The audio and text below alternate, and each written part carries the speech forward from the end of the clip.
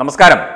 ഹത്രാസ് സംഭവം ഉണ്ടായപ്പോൾ യു പിയിലെ ഹത്രാസിൽ ഒരു പെൺകുട്ടി മരിച്ചപ്പോൾ അതുമായി ബന്ധപ്പെട്ട് കലാപമുണ്ടാക്കാൻ ഡൽഹിയിലെത്തിയ പോപ്പുലർ ഫ്രണ്ട് ഓഫ് ഇന്ത്യ പ്രവർത്തകർക്കൊപ്പം പിടിയിലായ ജേർണലിസ്റ്റ് സിദ്ദിഖ് കാപ്പന് ഇപ്പോൾ അദ്ദേഹത്തെ ജയിൽ മോചിതനാക്കണം അദ്ദേഹത്തിന് വിദഗ്ധ ചികിത്സ നൽകണം എന്നൊക്കെ ആവശ്യപ്പെട്ട് ഇവിടുത്തെ ചില എം പിമാർ രാഹുൽ ഗാന്ധി ഒഴിച്ചുള്ള ഏതാനും ചില കോൺഗ്രസ് എം പിമാരൊക്കെ തന്നെ ഇപ്പോൾ രംഗത്ത് വന്നിട്ടുണ്ട്.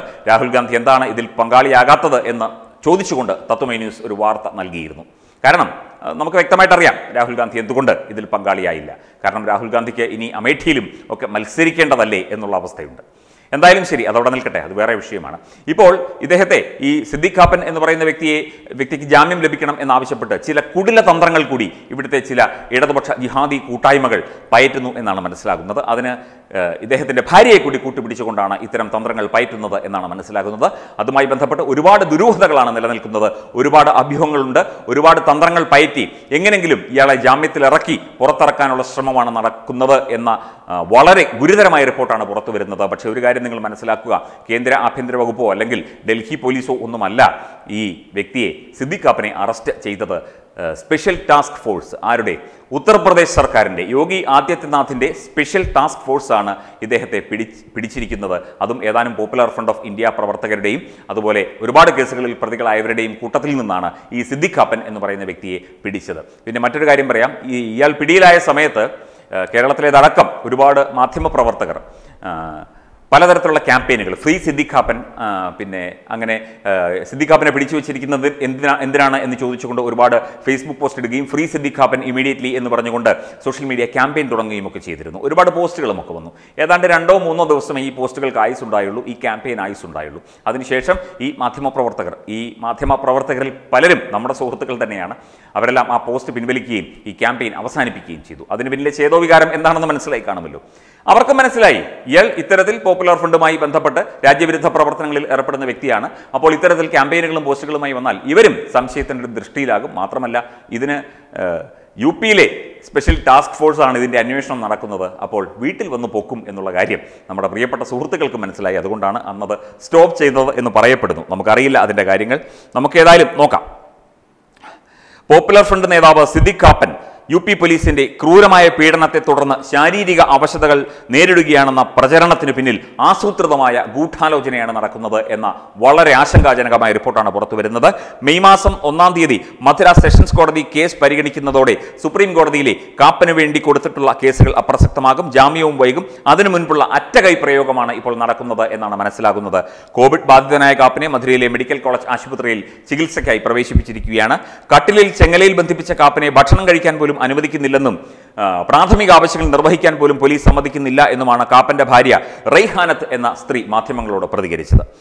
ക്രൂരമായ പീഡനങ്ങൾക്ക് വിധേയനായ കാപ്പന്റെ ആരോഗ്യനില അപകടത്തിലായിരിക്കുകയാണ്. അടിയന്തരമായി ഡൽഹി എയിംസിലേക്ക് ഇയാളെ മാറ്റണമെന്നും കാപ്പന്റെ ഭാര്യ ആവശ്യപ്പെട്ടിരുന്നു. ആശുപത്രിയിൽ ബന്ധനസ്ഥനായി കഴിയവേ കാപ്പൻ ഒരു ഫോണിൽ നിന്ന് വിളിച്ചാണ് ക്രൂരമായി പീഡിക്ക പീഡിപ്പിക്കപ്പെടുന്നതിന്റെ വിവരങ്ങൾ തന്നോട് പറഞ്ഞത്.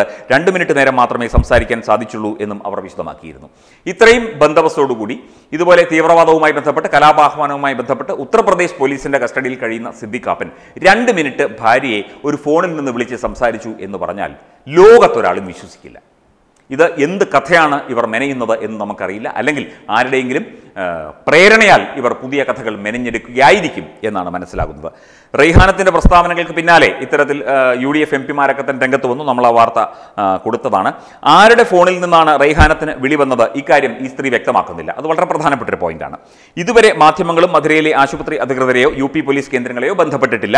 ഒരു പരാതിയും തന്നിട്ടില്ല. വിവരങ്ങളുടെ സത്യാവസ്ഥ അന്വേഷിച്ചിട്ടുമില്ല. ഇവിടെ കടന്നീ ബഹളം കൂട്ടുന്നതല്ലാതെ മുഖ്യമന്ത്രി യു പി മുഖ്യമന്ത്രിക്ക് കത്തെഴുതി എന്ന് പറയപ്പെടുന്നു. അതല്ലാതെ എം പിമാർ യു ഡി എഫ് എം പിമാർ ഇതുമായി ബന്ധപ്പെട്ട് ചില പ്രസ്താവനകളും ചില കാര്യങ്ങളും ഒക്കെ പറഞ്ഞു എന്ന് പറയുന്നു. അതല്ലാതെ ഔദ്യോഗികമായി ഈ വിഷയത്തിൽ ആരും തന്നെ ഉത്തർപ്രദേശ് പോലീസിനെയോ ഉത്തർപ്രദേശ് സർക്കാരിനെയോ ബന്ധപ്പെട്ടിട്ടില്ല എന്നാണ് അറിയാൻ സാധിക്കുന്നത്. കോവിഡ് രോഗികൾക്ക് നൽകുന്ന പ്രത്യേക മെഡിക്കൽ പരിഗണനയും ഭക്ഷണവും കാപ്പന നൽകുന്നുണ്ട് എന്നുള്ള കാര്യം വ്യക്തം. അതങ്ങനെ ചെയ്യും. മെയ് ഒന്നിന് കോടതിയിൽ ഹാജരാക്കാനുള്ള നടപടികൾ ഇപ്പോൾ നടക്കുകയാണ്. അതിനു മുൻപ് സുപ്രീം കോടതിയിൽ സമ്മർദ്ദം ചെലുത്തി ജാമ്യം തേടാനുള്ള കുറുക്ക് വഴിയാണ് ഈ പീഡന നാടകം എന്നാണ് മനസ്സിലാകുന്നത്. അതുപോലെ തന്നെ കാപ്പൻ ഇപ്പോൾ ഉള്ളത് കോവിഡ് വാർഡിലാണ്. അവിടെ അങ്ങനെ ഇങ്ങനെയൊന്നും ആരെയും കയറ്റില്ല. അവിടെ ഒറ്റ പ്രവേശന വാതിൽ മാത്രമാണുള്ളത്. സായുധ പോലീസ് കാവലുണ്ട്. കാപ്പനെ ചങ്ങലയിൽ ബന്ധിപ്പിക്കേണ്ട സുരക്ഷാ സാഹചര്യങ്ങളൊന്നും അതുകൊണ്ട് ഉണ്ടാകുന്നുമില്ല. അത് സ്വാഭാവികമായിട്ട് എല്ലാവർക്കും മനസ്സിലാകേണ്ട കാര്യമാണല്ലോ. ഇത്തരത്തിൽ ഒരു നടപടി എടുക്കേണ്ട കാര്യമൊന്നുമില്ല. മനുഷ്യാവകാശ ധ്വംസനമൊന്നും അവിടെ നടന്നിട്ടില്ല എന്നുള്ള കാര്യം ഉറപ്പാണ്. പ്രത്യേകിച്ചും ഒരു കോവിഡ് രോഗിയോട്. ഒരിക്കലും ചെയ്യില്ല. പക്ഷേ ഇത്തരത്തിൽ ഫോൺ വന്നു എന്ന് പറയുന്നത് അത് വിശ്വസിക്കാൻ പ്രയാസമാണ്. ഫോൺ വന്നിട്ട് അത് ചങ്ങല ചങ്ങലക്കിട്ടിരിക്കുകയാണ് ബാത്റൂമിൽ പോകാൻ പോലും അനുവദിക്കുന്നില്ല എന്നൊക്കെ പറയുന്നതിന്റെ സാങ്കത്യം മനസ്സിലാകുന്നില്ല. ഇത് ഒരു കുറുക്കുവഴിയാണ് അതായത് ഇത് ഇങ്ങനെ ഇങ്ങനെ മാധ്യമങ്ങളിലൂടെ വാർത്ത നൽകി ഇങ്ങനെ അത് ഒരു പ്രചരണം ആയുധമാക്കി ചില ഇതുപോലെ തന്നെ ഇടതുപക്ഷ ജിഹാദി കൂട്ടായ്മകളുടെ ചില ഇടതുപക്ഷ മാധ്യമങ്ങളുടെയൊക്കെ സഹായത്തോടെ ഇത് സുപ്രീം കോടതിയുടെ അല്ലെങ്കിൽ ദേശീയ മനുഷ്യാവകാശ കമ്മീഷന്റെയൊക്കെ ശ്രദ്ധയിൽപ്പെടുത്തി സുപ്രീം കോടതിയിൽ കൊടുത്ത് മധുര കോടതിയെ മറികടന്ന് സുപ്രീം കോടതിയിൽ നിന്ന് നേരിട്ട് ജാമ്യം വാങ്ങാനുള്ള ഒരു തയ്യാറെടുപ്പാണ് ഈ കുടില തന്ത്രജ്ഞന്മാർ കാണിക്കുന്നത്. അതിന് ഈ പാവം സ്ത്രീയെ ഇരയാക്കിയത് എന്തിനാണെന്ന് മനസ്സിലാകുന്നില്ല. കാരണം ഇതുമായി ബന്ധപ്പെട്ട് എന്തെങ്കിലും ഒരു പ്രസ്താവന നടത്തുകയൊക്കെ ചെയ്തു കഴിഞ്ഞാൽ യു പി പോലീസാണ് അവർ റെഹാനത്തിനെ വീട്ടിലെത്തി ചോദ്യം ചെയ്യും. അവരുടെ മുന്നിൽ ഇവർ പറഞ്ഞു തന്ന കാര്യങ്ങളൊന്നും പറഞ്ഞിട്ട് ഒരു കാര്യവുമില്ല. എന്തായാലും ഈ സിദ്ദിഖ് എങ്ങനെങ്കിലും പുറത്തിറക്കാനുള്ള കുട്ടില തന്ത്രങ്ങളാണ് ഇവിടെ പയറ്റിക്കൊണ്ടിരിക്കുന്നത്. അത് നടക്കും എന്ന് തോന്നുന്നില്ല. കാരണം ഇദ്ദേഹത്തെ പിടിച്ചത് പോപ്പുലർ ഫ്രണ്ട് ഓഫ് ഇന്ത്യയുടെ പ്രവർത്തകരുടെ കൂടിയാണ്. ഒപ്പം തന്നെ യു പി പോലീസിന്റെ എസ് ടി എഫ് ആണ് ഇയാളെ അറസ്റ്റ് ചെയ്തിരിക്കുന്നത് കേസെടുത്തിരിക്കുന്നത്. അപ്പോൾ പിന്നെ പുറത്തിറങ്ങും എന്നുള്ള കാര്യത്തിന് പുറത്തിറങ്ങ പുറത്തിറങ്ങാൻ പറ്റും എന്നുള്ള കാര്യത്തിന് യാതൊരു പ്രതീക്ഷയും വേണ്ട. കേസ് തീരാതെ പുറത്തു വിടില്ല. കേസ് തെളിഞ്ഞു കഴിഞ്ഞാൽ അതിന് അതിന്റേതായ ശിക്ഷ കിട്ടുകയും ചെയ്യും. അതിനിപ്പോൾ ഏത് കാപ്പനായാലും ശരി ഏത് കോപ്പനായാലും ശരി. വെബ് ഡെസ്ക് തത്തുമി ന്യൂസ്.